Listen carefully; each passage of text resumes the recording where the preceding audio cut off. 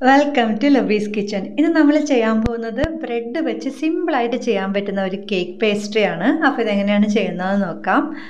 അപ്പോൾ ഇതിനായിട്ട് വേണ്ടിയത് ബ്രെഡാണ്. ബ്രെഡ് എന്ന് പറയുമ്പോൾ നമ്മൾ കുറച്ച് സോഫ്റ്റ് ആയിട്ടുള്ള ബ്രെഡ് വേണം ഇതിനായിട്ട് വാങ്ങിക്കാൻ വേണ്ടിയിട്ട് അല്ലെങ്കിൽ നല്ല ടേസ്റ്റ് ഉണ്ടാവില്ല. അപ്പോൾ ഞാനിപ്പോൾ അൽമറായുടെ ബ്രെഡാണ് എടുത്തിരിക്കുന്നത്. അൽമറായുടെ നല്ല സോഫ്റ്റ് ആയിട്ടുള്ള ബ്രെഡാണ്. അല്ലെങ്കിൽ മിൽക്ക് ബ്രെഡ് എന്ന് പറഞ്ഞ് വാങ്ങിക്കാൻ കിട്ടുന്നതും നല്ല ബ്രെഡായിരിക്കും.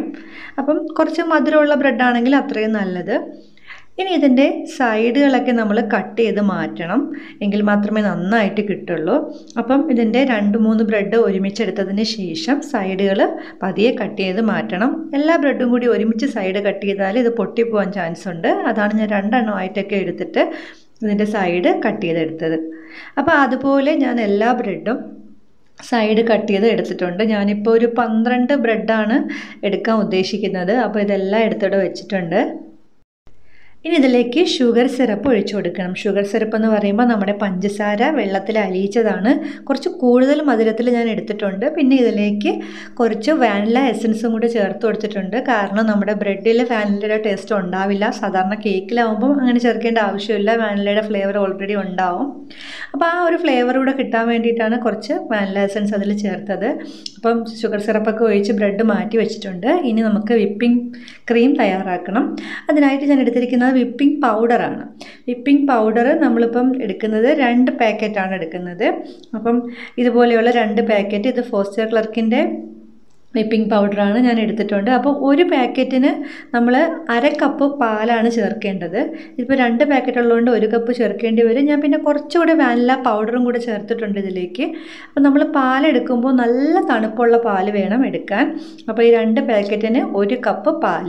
ഇനി നന്നായിട്ട് ഇതൊന്ന് ബീറ്റ് ചെയ്തെടുക്കണം. നല്ല സ്പീഡിൽ വേണം ബീറ്റ് ചെയ്തെടുക്കാൻ വേണ്ടിയിട്ട്. അപ്പോൾ പാലിന്റെ അളവ് കൃത്യമായിരിക്കണം നല്ല തണുപ്പ് ഉണ്ടാവണം അത് നന്നായിട്ട് ശ്രദ്ധിക്കണം. അപ്പോൾ കണ്ടിന്യൂസ് ആയിട്ട് ഇത് ബീറ്റ് ചെയ്തെടുത്തതാണ്. അപ്പോൾ ഓരോ ബീറ്റർ അനുസരിച്ചായിരിക്കും ബീറ്റ് ചെയ്യേണ്ട സമയം. ഇപ്പം ദാ ക്രീം നല്ല തിക്കായിട്ട് വന്നിട്ടുണ്ട്. തിക്കായോന്ന് അറിയാൻ വേണ്ടിയിട്ട് നമുക്ക് ഇതുപോലെ ഒരു സ്പാച്ചുല കൊണ്ടിട്ട് ഇത് കോരി നോക്കാം. അപ്പോൾ ഇതുപോലെ തിരിച്ച് വെക്കുമ്പോൾ ക്രീം താഴേക്ക് വീഴില്ല. ഇങ്ങനെ സ്റ്റിഫായിട്ട് ഇരിക്കും. അപ്പം ഇങ്ങനെയാണ് ഇരിക്കുന്നതെങ്കിൽ നമ്മുടെ ക്രീം ശരിയായിട്ടുണ്ട്. ഇനി നമുക്കിത് എങ്ങനെയാണ് സെറ്റ് ചെയ്യുന്നതെന്ന് നോക്കാം. വേണ്ടിയിട്ട് ഞാനൊരു ഈ ഒരു കേക്ക് ടേബിളിലേക്ക് കുറച്ച് ക്രീം ആദ്യം മിഡിൽ ഭാഗത്ത് വെച്ച് കൊടുക്കുവാണ്. അങ്ങനെ ആകുമ്പോൾ കേക്ക് മൂവ് ചെയ്യാതെ അവിടെ ഇരിക്കും. പിന്നെ നാല് സൈഡിലും ബട്ടർ പേപ്പർ വെച്ച് കൊടുക്കുന്നുണ്ട്. ബട്ടർ പേപ്പർ വെക്കുന്നത് എന്തിനാണെന്ന് വെച്ചാൽ നമ്മളിത് ഡെക്കറേറ്റ് ചെയ്യുന്ന സമയത്ത് ക്രീമൊക്കെ ഈ സൈഡിലൊക്കെ ആയി നമ്മുടെ ആ ഒരു ടേബിളിലൊക്കെ ക്രീം ആവാൻ ചാൻസ് ഉണ്ട്. അപ്പോൾ അങ്ങനെ ആവാതെ വൃത്തിയായിട്ട് കിട്ടാൻ വേണ്ടിയിട്ടാണ് ബട്ടർ പേപ്പർ വെക്കുന്നത്. അപ്പോൾ പിന്നെ ലാസ്റ്റ് ബട്ടർ പേപ്പർ അങ്ങ് എടുത്ത് മാറ്റിയാൽ മതി. ഞാൻ എങ്ങനെയാണെന്ന് കാണിക്കാം. പിന്നെ നമ്മുടെ നാല് ബ്രെഡാണ് ഞാനിപ്പോൾ ആദ്യം വെച്ച് കൊടുക്കുന്നത്. നാല് ബ്രെഡ് ഷുഗർ സിറപ്പിൽ ഒഴിച്ചെടുത്തതാണ്. അപ്പോൾ നാല് ബ്രെഡും നല്ല ടൈറ്റായിട്ട് ഒരുപോലെ വെക്കണം. ബ്രെഡ് കട്ട് ചെയ്തെടുക്കുമ്പോൾ ഒരേ ഷേപ്പ് ആയിരിക്കാനും ശ്രദ്ധിക്കണം. എങ്കിലേ നല്ല സ്ക്വയർ ഷേപ്പിൽ കിട്ടുള്ളൂ. ഇനി ഇതിന്റെ പുറത്തേക്ക് ക്രീം കുറച്ച് കട്ടിക്ക് ഇട്ട് കൊടുക്കണം.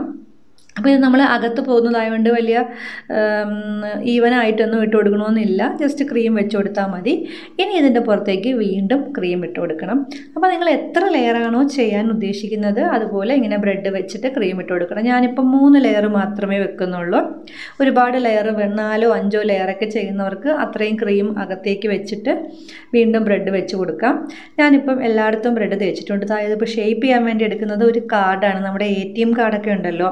ഐ ഡി കാർഡ് അപ്പോൾ അതുപോലൊരു കട്ടിയുള്ള കാർഡാണ് എടുത്തിരിക്കുന്നത് ഞാനിപ്പോൾ ഇപ്പോൾ ഇതൊരു വേണ്ടാത്ത കാർഡാണ് അതുകൊണ്ട് ഇത് വെച്ചിട്ട് ഷേപ്പ് ചെയ്യാൻ നല്ലതാണ്. നല്ല ഷേപ്പിൽ കിട്ടും. അപ്പോൾ ഇങ്ങനെ ഒരു കേക്ക് ടൂളൊന്നും കയ്യിലില്ലാത്തവർ ഇങ്ങനെ ഒരു കാർഡ് വെച്ചിട്ട് സൈഡുകൾ ഇങ്ങനെ ഷേപ്പ് ചെയ്തെടുത്താൽ മതി. ഈസി ആയിട്ട് ഷേപ്പ് ചെയ്യാൻ പറ്റും.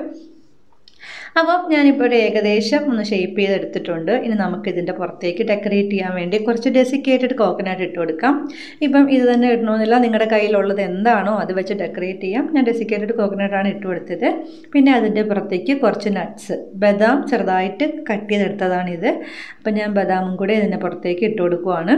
അപ്പം ഏത് നട്ട്സ് വേണമെങ്കിലും വെച്ച് ഡെക്കറേറ്റ് ചെയ്യാം. കപ്പലണ്ടി ആയാലും മതി. ഇനി ഇതിന്റെ പുറത്തേക്ക് ഞാൻ കുറച്ച് ചോക്ലേറ്റ് മെൽറ്റ് ചെയ്തത് ഒഴിക്കുകയാണ് ചോക്ലേറ്റ് മെൽറ്റ് ചെയ്തതിൽ കുറച്ച് വിപ്പിംഗ് ക്രീം ഞാൻ മിക്സ് ചെയ്തിട്ടുണ്ട്.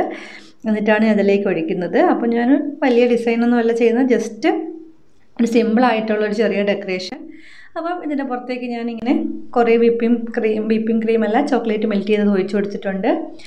അപ്പോൾ ഇനി വേണമെങ്കിൽ എന്തെങ്കിലും ചോക്ലേറ്റോ എന്തെങ്കിലുമൊക്കെ വെച്ച് ഡെക്കറേറ്റ് ചെയ്യാം. അപ്പം ഞാൻ അതിന് മുമ്പായിട്ട് ഈ സൈഡിലേക്ക് നമ്മൾ വെച്ച ബട്ടർ പേപ്പർ ഒന്ന് ഇളക്കി മാറ്റുവാണ്. അപ്പം നമ്മൾ ഡെക്കറേഷനൊക്കെ ഏകദേശം കഴിഞ്ഞല്ലോ. അപ്പോൾ ഇനി സൈഡിലേക്കൊന്നും ആവില്ല. അപ്പോൾ ഇതാ ബട്ടർ പേപ്പർ മാറ്റിയപ്പോൾ നല്ല നീറ്റായിട്ട് കിട്ടിയിട്ടുണ്ട്. സൈഡിലേക്കൊന്നും ഒട്ടും ആയിട്ടില്ല. ഇനി ഇതിന്റെ പുറത്തേക്ക് ചെറിയ നട്ട്സ് ബോൾ ഞാൻ വെക്കുവാണ്. നല്ല സ്വീറ്റ് ആയിട്ടുള്ള നട്ട്സ് ബോളാണ് ഞാൻ തന്നെ ഇവിടെ ചെയ്തെടുത്തതാണിത്. അപ്പോൾ എന്താണോ കയ്യിലുള്ളത് അത് വെച്ച് നമുക്ക് ഡെക്കറേറ്റ് ചെയ്യാം. ഇപ്പോൾ നമ്മുടെ അടിപൊളി കേക്ക് റെഡി ആയിട്ടുണ്ട്. സിമ്പിളായിട്ട് കേക്ക് ഉണ്ടാക്കാൻ അറിയാത്തവർക്കും ട്രൈ ചെയ്ത് നോക്കുക ഇത്.